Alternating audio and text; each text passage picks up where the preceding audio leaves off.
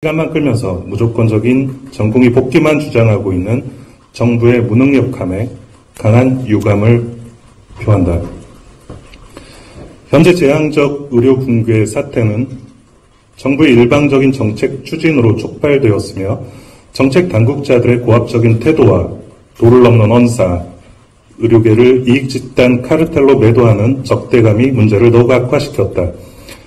필수 의료를 살려야 할 정부가 오히려 필수 의료를 붕괴시켜 버렸고 미래 의료를 담당할 전공의와 의대생들을 현장에서 내몰아 버렸다. 정부의 입장 변화와 진전된 논의를 기대하며 수많은 의료인들은 대통령 담화 이후 마지막 남은 사태 해결의 희망마저 포기하게 되었다. 전공의 대표와의 무의미한 만남은 조건 없는 대화가 얼마나 부질없는 것인가 전 국민이 알게 되었다. 보건의료 위기는 재난위기 심각 단계라고 하면서 응급실과 중환자실은 문제가 없다면 과연 무엇이 거짓말인가? 500여 명의 응급학 전공의가 100여 개의 병원 응급실에서 나갔으며 대부분의 수련병원이 응급실을 축소 운영하고 있다. 사태 이전 대비 30% 이상 환자 수가 감소되었는데 아무 문제가 없다는 말이 거짓이며 심각한 위기 상황을 하루하루 간신히 버티고 있다. 남아있는 의료진들의 피로와 탈진은 한계에 다다르고 있고 교수들의 업무 단축은 앞으로 상황을 더욱 악화시킬 것이다. 지금껏 재난위기 응급의료 대책 중 효과가 있으며 제대로 시행되고 있는 것은 과연 무엇이 있는가? 정부가 다급하게 내놓은 정책들은 아무런 상이나 교감이 없었던 졸속 탁상 행정들이다. 얼마 전 정부의 발표만 믿고 개원한 응급학 전문의가 지역의 응급실에 도와주러 가려 했는데 심평원과 보건행정 직원의 거절로 무산되었다. 공무원들이 항명한 것이 아니라면 애초부터 불가능한 대책이었던 것이다. 비대면 진료 확대, 피해 업무 확대, 공중보건 의사 및 구디간 파견, 은퇴 의사 재취업 등 다른 정책들도 마찬가지로 실제 응급의료 현장에 아무런 도움이 되지 않고 있다. 현재 정부의 문제 해결을 위한 대안은 전공인은 돌아오고 교수는 나가지 않는 것 말고는 아무것도 없는가? 정부의 브리핑 때마다 매일같이 잘 대처하고 있고 큰 문제는 없으며 모든 준비가 되어 있다고 발표하고 있다. 하지만 실제로는 대학 교수 등 전문의 의료진들이 이탈하게 된다면 정말 정말로 아무런 대책이 없는 상황이다. 이미 인턴들의 임용 포기 이후 벌어질 연쇄 반응으로 향후 5년간의 전공의 부재를 감당해야 하는 상황임에도 여기에 대해서도 아무런 대책은 없어 보인다. 응급 환자는 전세기를 태울 수가 없다. 응급의료는 이미 이전 수준으로 회복이 불가능해졌다. 정부는 정치적 시간 끌기를 중단하고 처벌을 하려면 처벌을 하고 대화를 하려면 대화를 하라. 사태 발생 이후부터 강력한 처벌을 한다고 했다가 유연하게 대응하라고 하고 협상은 없다고 하다가 대화는 하자고 하는 오락가락하는 행보를 보여왔다. 정부의 입장이 그토록 떳떳하고 정당하다면 전공의들과 의대 교수들의 사직서 모두 즉시 수리하고 의과대학 학생들의 휴학도 조건 없이 승인하라. 정말로 죄를 지었다면 행정처분도 내리고 집행부에 대해서 형사처벌도 진행하라. 진정으로 대화를 원한다면 정부의 입장 변화가 선행되어야 할 것이다. 의대 증원은 의료개혁이 아니다. 전 세계에서 가장 빠르고 저렴하며 수준이 높았던 우리나라 의료를 대체 어떻게 개혁하겠다는 것인가? 의료개혁을 이야기하려면 먼저 목표부터 제시하라. 10년 후 달성해야 할 목표를 제시하고 그 목표 달성을 위해서 방법을 함께 논의하는 것이 의료개혁이고 특별위원회에서 수행해야 할 일이다. 의대 증원을 통해 의료계를 길들이는 것이 의료개혁이라는 잘못된 망상에서 하루빨리 벗어나야 한다. 이번 사태의 본질은 전공의들이 아, 미래의 희망이 없어진 전공의들이 자발적 사직을 한 것이기에 아무리 논의와 협의를 한들 전공의들이 자발적으로 돌아올 수 있는 환경이 만들어지지 않으면 이 사태의 완전한 해결은 불가능할 것이다. 이 사태 해결을 위해서 이미 사용한 돈이 5천억이 넘는다고 한다. 앞으로 얼마나 더 들어갈지도 알 수 없다고 한다. 이 돈이면 아주대 외상센터급의 권역 외상센터를 두세 개를 지을 수 있는 돈으로 사태 발생 이전에 필수 의료 현장에 투입되었다면 이토록 문제가 심각해지지 않았을 것이다. 응급의학과 비상대책위원회는 응급의학 전문의들에게 현 상황에 대한 인식과 대응 방안을 묻는 설문조사를 진행하고 있다. 이번 사태가 조속히 해결되지 않을 경우 응급실 사직을 포함한 구체적인 행동을 준비할 것이고 이미 이와 별개로 수많은 전공의들이 자발적으로 현장을 어, 떠날 것이다. 지난 30년간 피땀 흘려 지켜온 응급의료 체계는 붕괴 위기에 직면해 있다. 현재 응급의학 전문의들이 현장을 지키는 단 하나의 이유는 우리가 최후의 보루이며 우리가 무너지면 이 나라 의료가 무너진다는 위기감 때문이지 정부의 의대 증원 정책에 찬성하기 때문이 아니다. 존중은 말이 아닌 행동으로 보여야 한다. 전공의들에 대한 무지막지한 초법적인 금지 명령들과 협박은 그대로인데 앞으로 존중하겠다고 하는 말은 공허한 정치적 수사일 뿐이다. 진정으로 대화를 원한다면 이런 금지 명령들부터 철회하라. 이제는 정말 서로에게 많은 시간이 남아있지 않다. 이대로 계속 시간이 지나면 환자들의 피해는 커져만 갈 것이고 사태를 촉발한 정부는 책임에서 자유롭지 못할 것이다. 진정한 해결을 위해서는 의대 증원을 포함한 모든 의제들을 백지화하고 의료계를 존중하는 마음을 담아 진지한, 진지한 협상에 임해주기 바란다. 2024년 4월 7일 응급의학과 비상대책위원회. 네, 감사합니다. 어, 그럴까요? 네. 혹시라도 내용에 대해서 어, 궁금하신 점이 있으시면 답변 드리겠습니다. 네? 어, 네, 응, 대한응급의학의사회 회장 이형민입니다.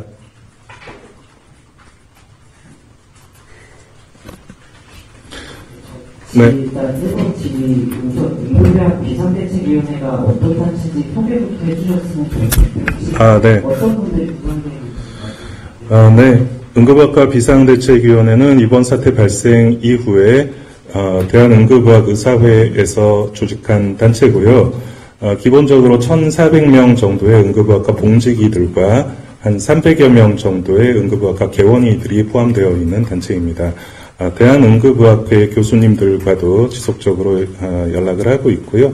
아, 그리고 많은 일들을 서로 상의해서 진행을 하고 있는 단체라고 이해하시면 되겠습니다.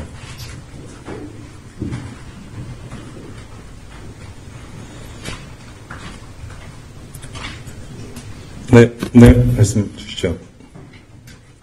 아, 제가 LBK 유진자입니다.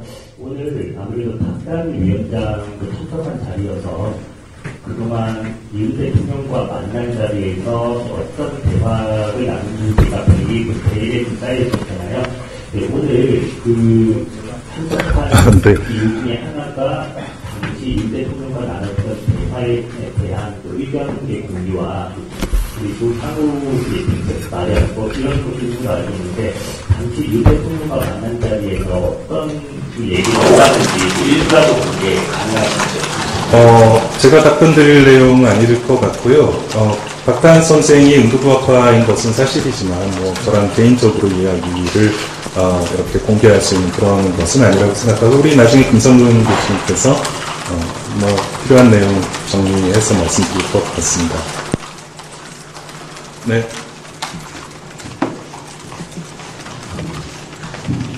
안녕하세요. 청년사신문의 고종민 기자입니다.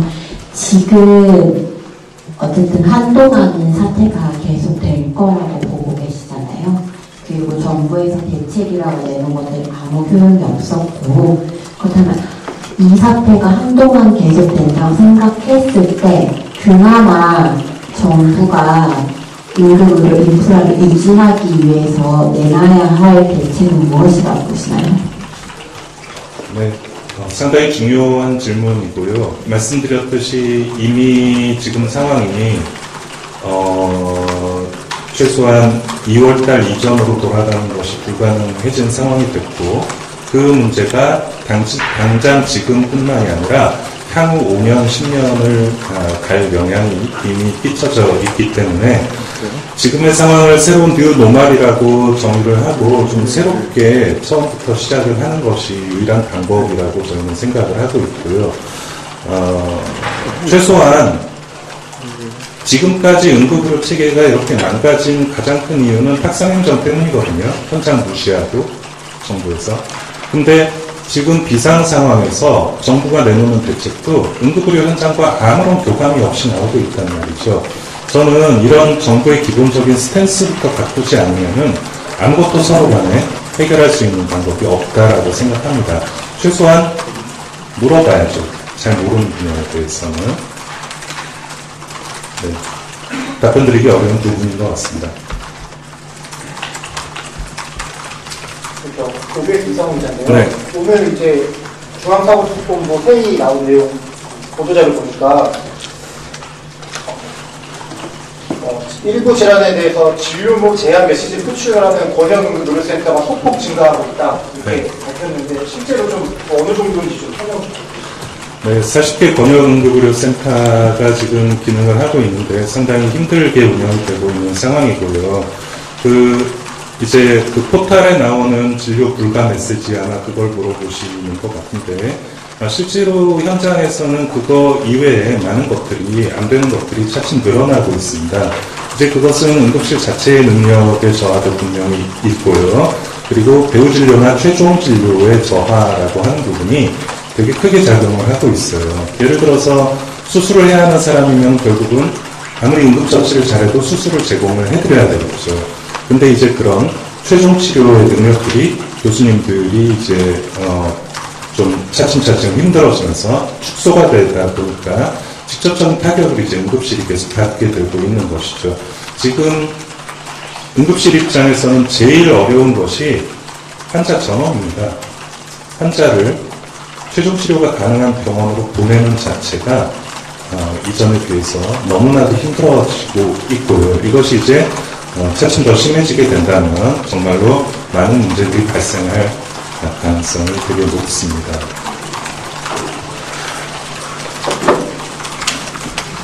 네. 그 아까 그 질문이 한번 나오긴 했는데 이제 정부 스탠스 바꾸는 것 이후에 이제 그 논의를 좀 이어가시려고 한다면 좀 구체적인 방안이 나오진 않은 것 같아서 어떤 대안들이 지금 현재 필요하다고 보시는지 조금 더 구체적인 부분 말씀 부탁드리겠습니다.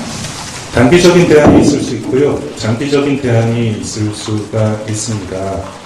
단기적인 대안은 응급실 현장에서 전문의들이 나가지 않도록 조치를 하는 여러 가지 방법들이 되겠습니다. 이제 직접적인 지원이라든지, 직접적인 인프라 지원이라든지, 어, 그리고 근무 여건의 개선이라든지, 이런 것들 다 이제 저희가 어, 응급의료 계획 나올 때부터 계속적으로 주장을 했었지만, 제대로 반영되지 않았던 부분들이고요. 어, 향후에라도 그럼 그런 것들을 이제 현장에서 주문을 했을 때 그것이 정말로 정책에 반영이 되고 실제로 현장의 개선이 이루어질 것이냐 저희는 되게 그런 것들을 어, 현실적이지 않게 생각을 하거든요. 왜냐하면 지금까지 10년 이상, 20년 이상 어, 저희가 요구한 것들이 제대로 받아들여지기가 어, 너무나도 어, 벽이 많았습니다. 이제 그런 것들을 하나하나 깨는 노력을 정부가 하는 것이 시작점이 되겠죠. 지금 단기 말씀하셨는데 장기는 혹시 그러니까 이제 그런 장기적인 계획을 세우는 것은 어, 너무나도 단순합니다. 이제 어, 최소한 10년 이상을 보는 계획부터 세워야 합니다. 지금 나오는 모든 계획들은 다 단기적인 어떤 성과를 목표로 하는 정책들이 대부분이거든요. 그러나 이제 그런 어떤 어, 좀 어, 어떻게 보면 편법식의 그냥 어, 문제 있는 것만 덮고 가려는 그런 자세가 아니라 정말로 장기적으로 우리나라 응급의료 체계가 가야 할 목표를 산정을 하고 그 목표를 향해서 어, 서로 간에 같이 대화를 하고 그런 부분들이 어, 이제 반영이 되는 것이 가장 이상적인 방법이겠죠. 단기적으로는 해결책은 없습니다. 없습니다. 지금 현재로서. 왜냐하면 전공의들의 한 500명 정도 되거든요. 응급의학과 전공의들 중에 나간 숫자가. 어떤 사람들을 거기다가 데려다 놔도 그만큼을 해결할 수 있는 방법은 지금 현재로서는 없습니다.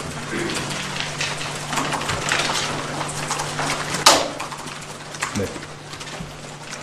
어, 뭐 질문 있으시면 하나만 더 받고 우리 또 김성민 교수님 기다리고 계시니까. 네, 말씀 주세요. 서울시민 한시은인데요. 아까 말씀하셨던 그 응급의료과 네, 응급의료과 전문의 대상으로 설문조사 하신다는 거는 어떤 내용 담고 있고 결과는 언제쯤 나올지 궁금합니다. 어, 지금 현재 응급의학 전문의들을 이제 대한응급의학 의사회 소속 어, 전문의들을 대상으로 설문조사를 하고 있고요. 어, 상당히 많은 답변들이 모이고 있지만 아직은 마감을 하고 있지는 않습니다. 내용은 현재 상황에 대한 인식, 그러니까 정부에서 발표한 의대 증원과 필수 의료 패키지에 대한 현장의 전문의들의 의견을 1차적으로 조사를 하고 있고요. 그리고 만약 이제 전공의들과 의대생들이 어떠한 불이익을 당하게 되면 우리가 어떤 식으로 행동을 할 것인가, 또 어떤 식으로 우리가 거기에 대해서 주장을 할 것인가라는 것에 대한 설문조사를 시행을 하고 있습니다. 어, 나중에 이제 결과가 어느 만큼 정리가 된다면 뭐 일부 필요한 내용들은 공개를 할 수도 있을 것이라고 생각합니다.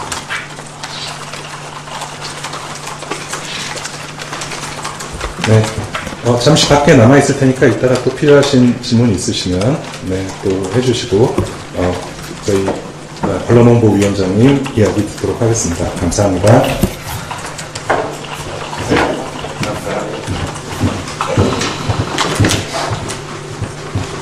네,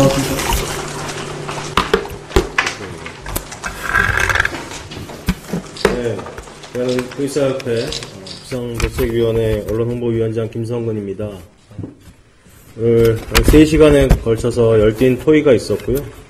뭐 많은 내용을 말씀드리면 좋겠지만 또 결정사항만 말씀드릴 수 있어서 특별하게 많은 내용을 말씀드릴 수는 없을 것 같습니다. 아마 박단 위원장과 대통령 이렇게 어, 만남 후에 굉장히 많은 이야기들이 있었죠. 궁금하실 것 같은데 실제로 오늘 어, 간단하게 내용을 들었습니다. 하지만 내용은 어, 기대하시는 것 같은 뭐 특별한 내용은 없었다 말씀을 드릴 수밖에 없고요. 전공의들이 그동안 주장했던 2월 21일 발표했던 성명서에 있는 내용과 어, 그 내용에 대한 자세한 설명을 드렸다 뭐 이렇게 전달을 받았습니다. 어쨌든 저희 어, 비상대책위원회는 대통령과 박단 전공의 비대위원장의 만남은 의미 있는 만남이었다고 평가합니다. 말씀드릴 수 있겠고요. 대한의사협회 비대위원회는 전공의들과 학생들의 입장을 지지하고 한 목소리를 내고 있음을 다시 한번 천명합니다. 여기까지가 첫 번째 입장입니다. 그 다음에 저희가 앞으로 이번 주에 있을 내용들 잠깐 말씀을 드리면 향후 언론을 통한 홍보를 지속할 예정입니다. 그래서 화요일, 수요일 일간지 어, 전면 광고를 진행할 예정이고요. 그 이후에도 여러 매체를 통해서 홍보를 계속 지속- 지속할 예정이고 다음 주 중에 대한의사협회 어, 비대위원회 그 다음에 어, 전국의대교수협의회 어, 대한전공협의회 네, 학생 등등 해서 어, 많은 목소리를 따로 내고 있던 그런 조직들이 어, 이곳에서 모여서 합동 기자회견을 하기로 했습니다. 어, 저희가 뭐 그동안 일부러 어떻게 보면 좀 일부러 여러 가지 목소리를 내고 있었는데 이제 한 곳에서 모여서 어, 목소리를 내는 이유는 결국은 이 움직임에 있어서 가장 중심에 있는 단체가 저희 대한 대한 의사협회 비상대책위원회가 중심에 있고 어, 나머지 여러 단체들이 같이 힘을 합쳐서 움직이고 있다. 이것을 다시 한번 천명하기 위해서 이번 이번 어, 다음 주 중에 아 이번 주죠. 이번 주 중에 이런 기자회견 어, 단 어, 합동 기자회견을 준비하고 있습니다. 날짜가 결정이 되면 공지를 드릴 예정이고요. 아마도 총선 이유가 될 것 같습니다. 어, 그리고 또 하나 어, 추가로 말씀드릴 내용 몇 가지를 말씀을 드리면 저희 결정된 내용들 정부에서 어, 의료계 또 의사단체들의 통일된 안을 보내달라 이렇게 요청을 하고 있습니다.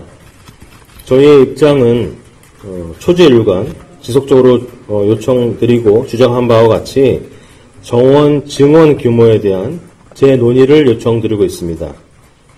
또 이 요청이 받아들여지고 정부의 진정성 있는 모습을 저희가 평가하기 위해서는 현재 진행되고 있는 2,000명 증원에 관련된 교육부의 프로세스를 중단해 주시기를 부탁을 드립니다. 또 그런 진정성이 보여야 전공의들과 학생들이 제자리로 복귀할 수 있는 시발점이 될 수 있을 것으로 여기고 있습니다. 우리에게 주어진 시간이 이제 길지 않습니다. 정부에서 이 사태를 해결할 수 있도록 전향적인 자세를 보여주시길 다시 한번 부탁드립니다. 시간이 길어지게 된다면 대한민국 의료의 미래가 없는 것이 아니라 대한민국의 미래가 없어지게 될 겁니다. 네, 여기까지가 저희 오늘 회의 이후에 드리는 공식 브리핑 문이고요. 네, 지금부터는 질의응답 시간을 가지겠습니다. 네, 질문 주시죠. 네, 앞에 마이크 사용해 주시고요. 다음 주 중에 리스트를 내겠다고 하셨는데 지금까지는 각다른 그 위원장에 대해서도 좀 입지나 그분의 대표성이 있냐에 대해서 내부적으로 많은 목소리가 있었던 걸로 알고 있습니다. 오늘 회의에서 이런 여러 가지 목소리들이 목소리들이 좀 다 정리가 된 건지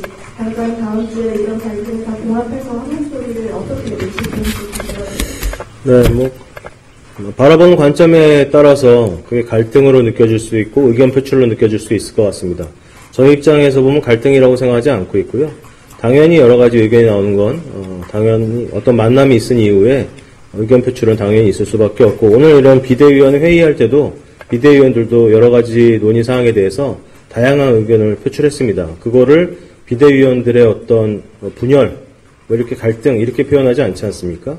그 정도의 내용이었다고 어, 해석해 주시면 좋을 것 같고요. 말씀드린 대로 다음 주에 그런 어, 한 자리에서 모여서 여러 가지 대화를 진행할 수 있는 시간을 가지도록 하겠습니다. 네. 조사하는지. 어, 이제 오늘 진행한 안건들은 전체 몇 가지 정도였고 어떤 내용이었는지 말씀해 내용. 네. 뭐 어차피 저희가 결정한 내용은 결정 사항에 대해서만 말씀드리긴 하고 있어서 어, 논의사항, 논의 안건에 대해서 자세하게 말씀을 드리지 못하는 것은 좀 죄송스럽게 생각합니다. 또그 이유는 뭐 예전 같은 회의였으면 이런 내용들 자세하게 브리핑 드릴 수 있겠지만 일부 사항은 지금 수사를 받고 있는 여러분들한테 부담을 지울 수도 있는 내용이어서 공개하지 못하는 것을 양해해 주시면 좋겠습니다. 네. 몇 건 정도였는지도 공개가 불가. 네, 전체적으로 논의된 안건은 12건이 있었고요. 거기에 대해서 몇 가지만 지금 말씀을 드렸습니다. 네, 다음 질문 주시죠. 네. 하는데요. 그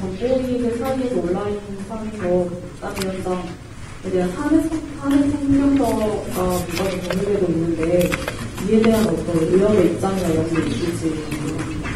뭐 탄핵 성명서 돌아다니는 거야, 뭐, 전공협의 말고도 다른 데도 많지 않습니까? 뭐 그런 거 특별하게 신경 쓸 여지는 없다고 생각합니다. 네.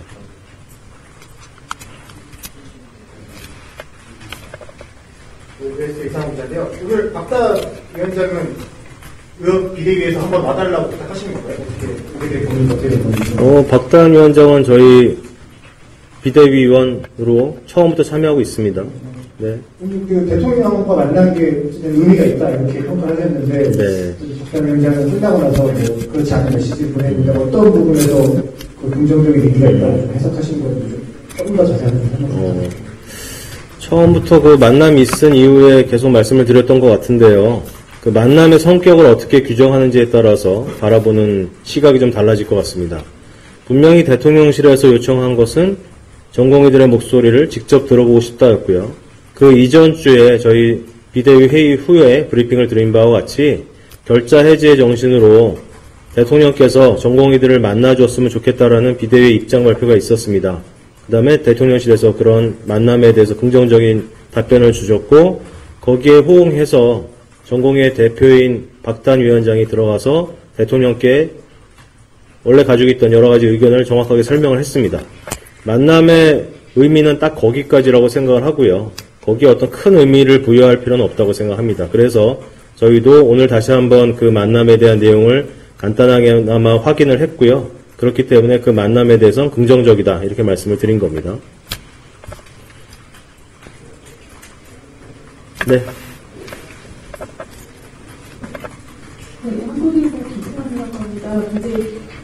만남 자체는 긍정 평가하시긴 했지만 그 회장 강선님께서는 그 다른 말씀들을 하셨어요.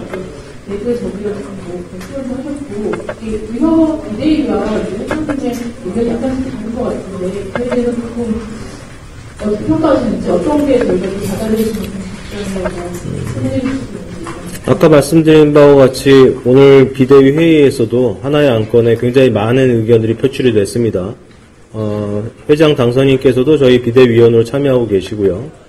오늘은 온라인으로 참여를 하셨지만 어쨌든 다양한 의견들을 듣고 다양한 의견들을 낼 수 있기 때문에 그 정도로 평가해 주시면 좋을 것 같고 저희가 뭐 의협 안에서 분열이다 이런 얘기들 아마 쓰시고 싶은 것 같은데 그렇진 않다 이렇게 말씀을 드리겠습니다. 네. 다양시간 내사용인데요. 그 이번 주 중에 학통 기자회견을 열시겠다고 하셨는데 기자회견 내용이 뭐 대략적으로 좀 어떤 거를 계획하고 계신지 그러니까 물론 뭐 정부를 비판하는 내용도 포함이 될 거고 근데 이제 향후 어떤 대응 방안이나 좀 아직까지 나오지 않은 그런 새로운 대응 방안들도 기자회견에서 어떻게 될지. 어, 지금 입장문에서 말씀드렸다시피 저희, 저희에게 주어진 시간이 그다지 길지가 않습니다. 남아있는 시간이. 학생들의 휴학, 유급, 그 다음에 전공의들의 사직, 그 다음에 사직서의 수리 여부, 그 다음에 행정 처분, 뭐 법적인 처분, 뭐, 여러 가지가 눈앞에 다가와 있거든요. 어, 마냥 기다릴 수가 없는 거죠. 그 다음에 우리나라의 의료 환경이 지금 거의 걷잡을 수 없을 정도로 망가져 있습니다. 이 망가진 걸 돌릴 수 있는 시간적 기회도 많지 않다고 생각합니다. 그래서 아마도 다음 기자회견에서는 교수님들께서 사직서 투쟁을 하고 있는데 향후 어떻게 전개가 될 건지 이런 내용이 아마 포함이 될 거고요. 그 다음에 학생들한테 앞으로 벌어지게 될 어, 다음 주부터 개강하는 학교들이 많습니다. 거기에 대한 내용들도 같이 추가돼서 어, 입장을 발표할 수 있을 것으로 기대하고 있습니다.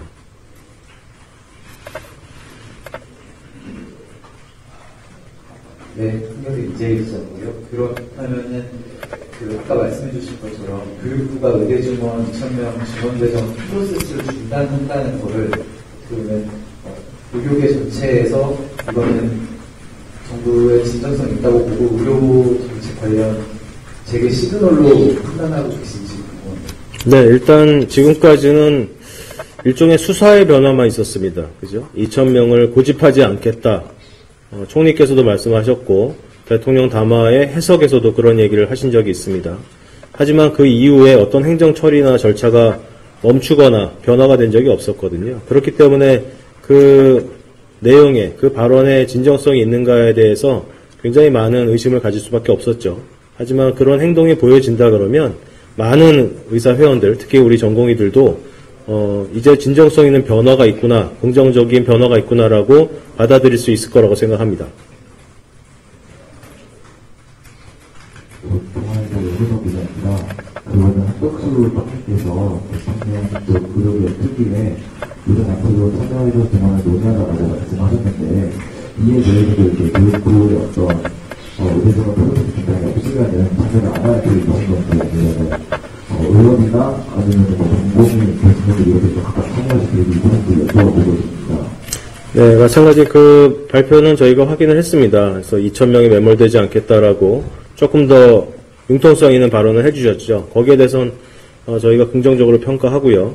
그 다음에 여러 가지 협의체에서 논의하겠다고 하셨는데 그 협의체에서 논의하는 과정이 또 말씀드린 바와 같이 그렇게 시간이 많지, 많이 남지 않았다는 겁니다. 그래서 그런 협의체가 구성이 된다 그러면 당연히 저희 쪽에서도 참여를 해야 되겠지만 일단 기본적으로 지금 가고 있는 그런 과정들이 멈춰지지 않는다면 그런 협의체가 구성이 된다 그래서 어떤 의미가 있을 것인가 또 행정 어떤 처리에 있어서 일부 그냥 통과 과정 이런 걸로 받아들여진다 그러면 별로 저희가 참여할 수 없는 상황이 되겠죠. 그런 진정성 있는 모습이 보여지는 것은 지금 말씀드린 것 같은 지금 2,000명 정원에 대한 증원에 대한 그런 프로세스를 멈춰주는 거다. 이렇게 다시 한번 말씀을 드리겠습니다.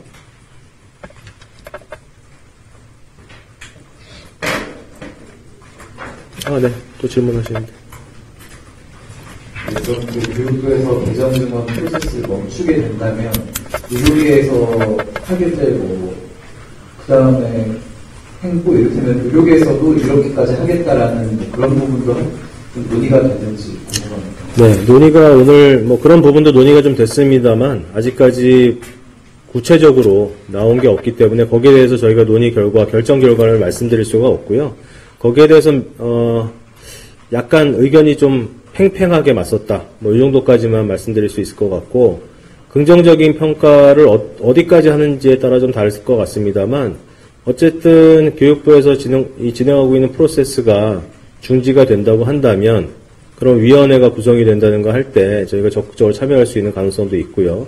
그 다음에 의료계에서 생각하고 있는 여러 가지 대안들이 있습니다. 물론 원천 재검토라는 것은 교- 과학적인 근거를 가진 검토 과정이 굉장히 필요하다는 건데 그 과정은 저희가 계속 말씀드린 것 같이 그다지 짧게 되지는 않을 것 같습니다. 그렇기 때문에 그런 증언에 대한 규모, 올해 증언에 대한 규모도 논의가 되어야 되지만 향후 증언에 대한 규모에 대해서는 좀 더 자세하게 논의가 되어야 되기 때문에 그런 위원회 구성은 당연히 돼야 되고 거기에는 저희가 적극적으로 앞으로도 참여할 거다 이렇게 말씀을 드리죠.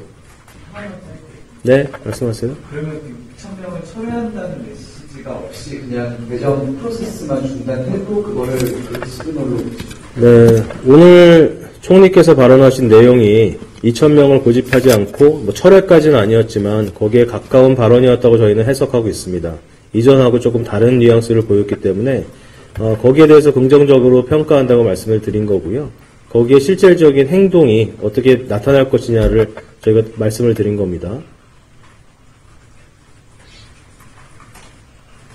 한마디만 짧게로 질문 드리고 싶은데 그럼 만약에 의사단체 아, 어디 계신지 안 보여서. 아, 네. 아, 네. 만약에 현재 그 의료계 특유의 의사단체를 탄생하게 된다면 그 형태가 어떻게 될지 좀 궁금해가지고요. 의원이나 전공이나 교육단체 각각 참여하게 되는 건지 아니면 의료계 어떤 단일한 그 프로젝트를 좀 만드실 생각이 있으신지 아니면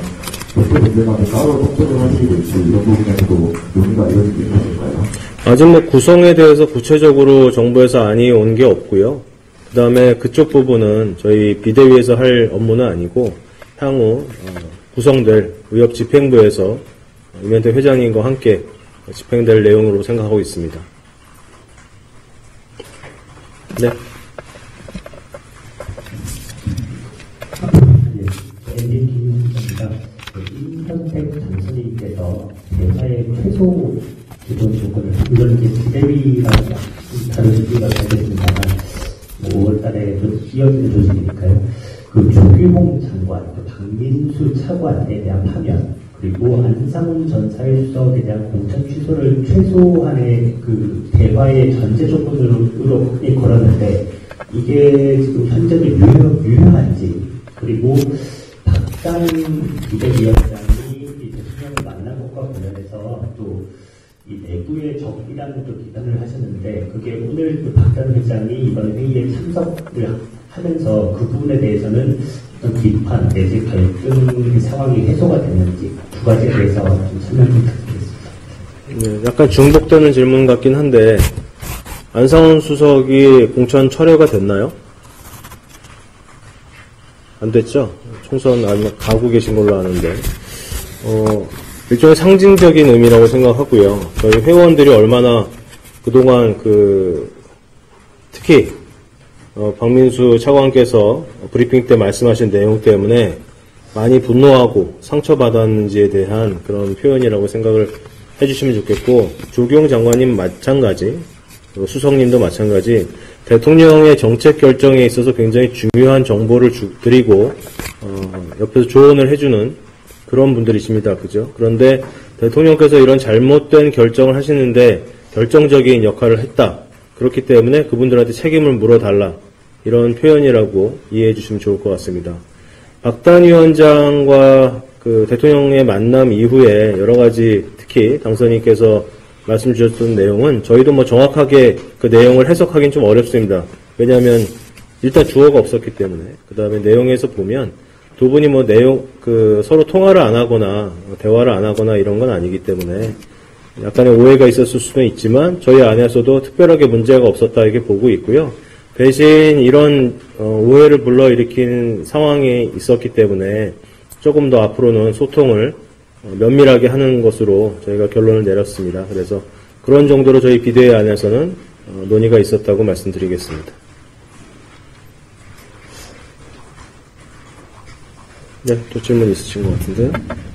네, 안녕하세요. SBS 손미준입니다. 관련해서 이제 학생들 얘기를 좀 안 할 수가 없을 것 같은데, 지금 4월 중순이나 이제 말이 되면 이제 교육 일정 관련해서 학사 일정이 거의 데드라인으로 알고 있는데, 좀 의협 비대위에서는 뭐 이걸 어떻게 바라보고 있고, 좀 어떻게 대응할 생각인지 여쭤보고 싶습니다. 지금 현재 교육부에서는 그 동맹 휴학에 대해서는 절대 승인해주지 말라는 입장을 고수하고 있고, 이 얘기하는 대책이나 대안에 대해서는 제시하지 않는 걸로 알고 있는데, 좀 의협에서는 어떻게, 비대위에서 어떻게 생각하는지 여쭤보고 싶습니다.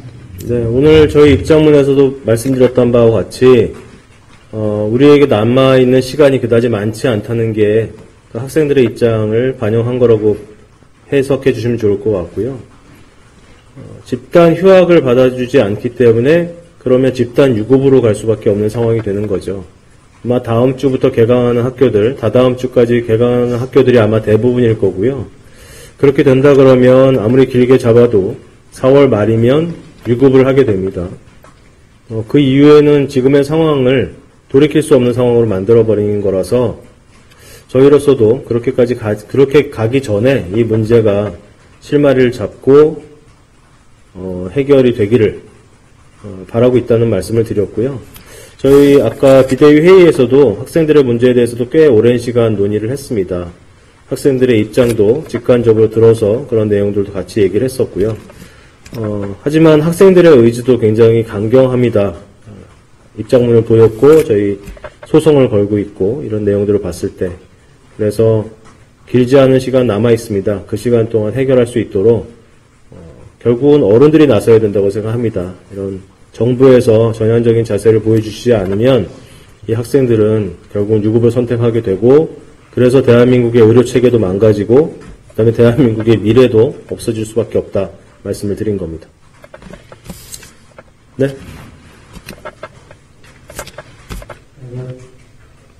네, 조한우 기사입니다. 그 말씀하신 의료 현장의 붕괴는 아마도 약간 환자분들의 고통이 가중되고 있다는 걸로 해석될 수 있을 것 같은데 오늘 논의하신 안건에 환자분들의 고통을 경감할 수 있는 방안에 대한 논의가 있었는지 궁금하고요. 그렇다면 뭔가 전공의나 교수분들이 떠나면서 환자분들의 고통이 가중되고 있는 상황에 대한 대책도 있는지 궁금합니다. 네, 그 내용들에 대한 발표는 아마 응급의학과 의사회에서 발표하신 내용을 참고하시면 좋을 것 같고 전공의들이나 지금 사직서를 낸 교수님들이나 환자 곁을 떠나거나 병원을 떠나고 싶어 하는 사람은 제가 알기로는 한 명도 없습니다. 그분들이 그렇게 몰릴 수밖에 없는 상황을 지금 만들어 놓은 건 분명히 정부의 몫입니다. 그 문제를 해결하지 못하는 상황에서 지금 병원을 지키고 있는 교수님들이나 아니 밖에 나가 있는 전공의들이 다시 제자리로 돌아와서 일을 해달라고 하기에는 설득력이 너무 없다는 거죠. 정부에서 조금만 양보해 주시면 충분히 금방 해결이 될 수도 있는 문제를 지금 거의 두 달 가까이를 끌고 있습니다. 거기에 대한 책임은 분명히 정부에게 있다고 생각을 하고요. 교수들의 입장을 말씀을 드리면 일부 과외 교수님들은 일주일에 3일씩 당직을 쓰고 있습니다. 그러다 보니까 이제 외래를 진료를 볼 수 없는 상황이 되어버렸죠. 수술은 마취과 선생님들이 모자라기 때문에 수술방을 다 열 수가 없습니다. 그러다 보니 정규 스케줄을 잡을 수 있는 임상과는 몇 개가 되지 않습니다. 밀려있는 수술들을 2차 병원들에서 열심히 해주고 계시지만 다 소화가 되지 않고 있고요. 어, 일부 병원에서는 암 수술조차 대부분 한 달 안에 마치던 수술들을 두 달 이후로 미루고 있습니다. 이걸 해결해 줄 수 있는 사람들은 지금 여기 병원에서 일하고 있는 사람들이 아닙니다. 교수들이 무슨 슈퍼맨들도 아니고 지금 주 100시간씩 병원에서 집에도 못 가면서 버티는 분들한테 더 일을 해달라고 할 수도 없습니다. 그리고 그렇게 일을 하다 보면 결국은 환자 안전에 문제가 생길 수밖에 없습니다. 어, 한정된 인력으로 끌 수 있는 시간도 거의 바닥이 났고요. 그렇기 때문에 오늘 응급의학과 의사회에서도 성명이 나왔고 이거는 모든 대학의 교수들의 입장과 비슷하다고 생각해 주면 되겠습니다. 그래서 환자 안전을 위해서는 더더욱이 환자 안전을 책임지고 국민의 건강을 책임지는 건 분명히 대한민국 정부입니다. 정부에서 분명한 그런 바뀐 모습을 좀 보여주셔야 이 상황을 간전시킬 수 있을 것으로 기대합니다. 그 박단 위원장이랑 대통령 만난 뒤에 박민수 차관이 그 정부가 여러 의사 단체들과 대화를 이어가겠다고 추진하겠다고 말했는데요. 의협도 대통령과 만남을 그 하실 의향이 있는지 앞으로 계획이 있으신지 궁금합니다. 아, 대통령과 의협의 만남 말씀하시는 건가요? 어, 대통령께서 전공의 대표를 만나서 충분히 그 내용을 들으셨을 거라고 저희는 판단하고 있습니다. 아, 물론 의협 집행부 내지는 의협 비대위 어, 뭐 만날 수 있습니다만 대통령께서 한 문제에 대해서 여러 단체들을 만나면서 협의하고 협상하는 그런 지위가 아니지 않습니까? 뭐 그렇기 때문에 저희는 다른 여러 가지 정부의 부서들이 있습니다. 보건복지부부터 시작해서 총리실도 있을 거고 그 다음에 또 여러 가지 어, 여러 개의 정당과의 만남도 저희가 준비는 하고 있습니다. 하지만 대통령께서 여러 번 나서 주시는 건 정말로 감사한 일입니다만 어쨌든 내용을 알고 계신 거기 때문에 결정을 먼저 해주시고 그 다음에 그것을 실행할 수 있도록 정부의 부처에 힘을 실어주시는 게 가장 빠른 해결 방안이라고 생각합니다.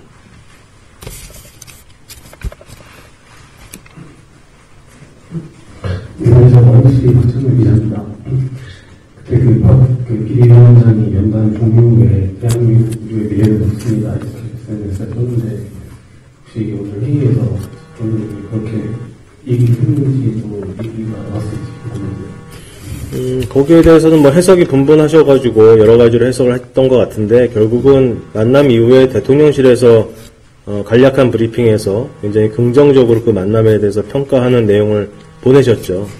그래서 박단 위원장 입장에서는 그렇게 긍정적인 평가를 할 수 없는 만남이었다. 뭐 이 정도의 내용으로 그, 날, 그 내용을 썼다. 이렇게 해석해 주시면 제일 좋을 것 같습니다.